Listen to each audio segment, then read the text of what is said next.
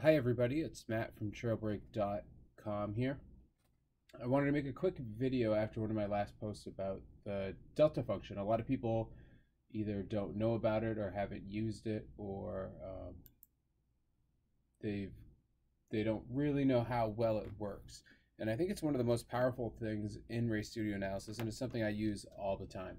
So to use the delta function, we can either click the triangle that is in the top right of our measures graph, and that's a, a delta button, or we can use the hotkey, just hit D.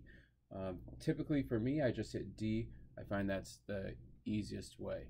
And what we're going to do is we, we can either click the button or hit the hotkey, and then we pick our first point, and then we hit our second point. We'll pick this minimum speed here.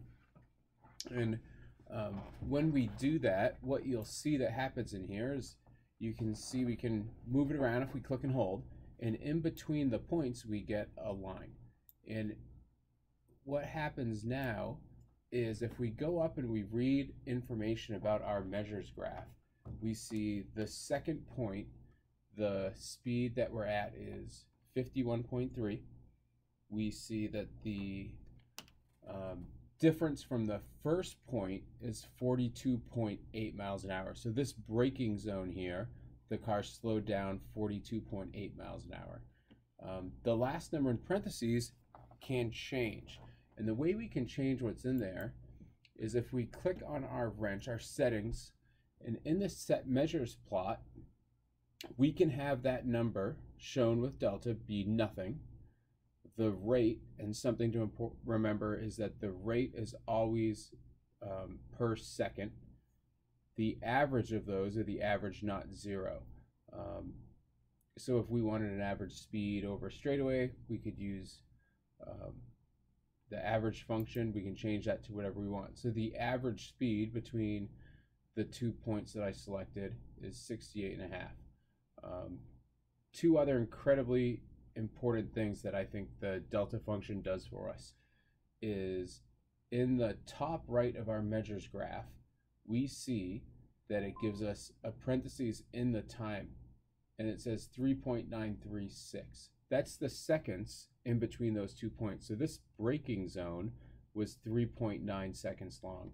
And in that braking zone, we covered 385.428 feet.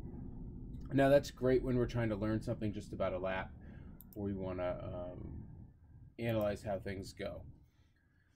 An important part with the delta function too is to take it off. We can hit the D or hit the delta function again and it gets rid of that.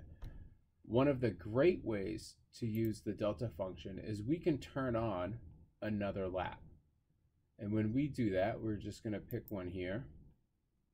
And if we zoom into a point where we have maybe a little different of a brake zone. So I'm going to zoom in to the very first corner because I saw that we had a little bit of a difference in the brake application.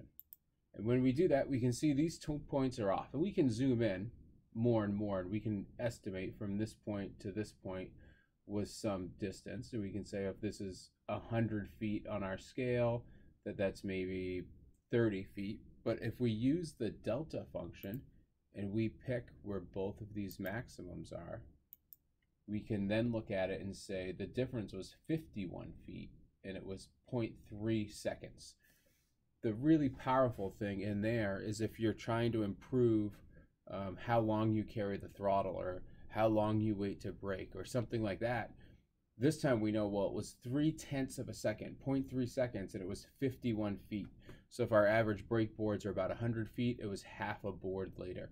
Um, this gives you something that when you try to coach yourself, you can use that to uh, to put hard numbers to what you're trying to do. It's not brake later, it's brake 0.3 seconds later, it's brake 51 feet later. Um, a really, really powerful tool to use in there. The other thing that we can do with the delta function as we go through is we can use it on the time compare. So if we just pick two points, I'm going to go back, turn on my delta function, and I'm going to say from where we were maybe up in time here to where we lost all this time here, and we say, what is that difference? The scale difference is 0.264 seconds. So it tells you right there you're off by about a quarter of a second. Um, another really powerful way as you keep digging into your data and you want to see where those real differences are, gives you a good chance to do that. Or we can use it and say, here where there's this big speed difference, we can turn our delta function on, pick between the two points, and then look at it and say, yeah, that, that speed difference that we saw from the green line to the red line cost almost 0.1 seconds, 0.098. Um, we can get that from in in the time compare, or we can read the actual number, the quantitative value right here.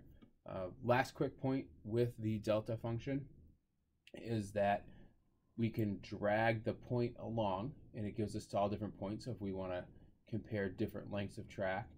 And we can also see where the second point is based on the cursor on our GPS map. So as we move that around, it'll show us that point as well. Um, I hope you find this helpful. Um, if you have questions about the delta function, feel free to post back up wherever you see this on social media. Feel free to email uh, or reach out to us in any way that works for you. Thanks for listening, and I hope to talk to you some more.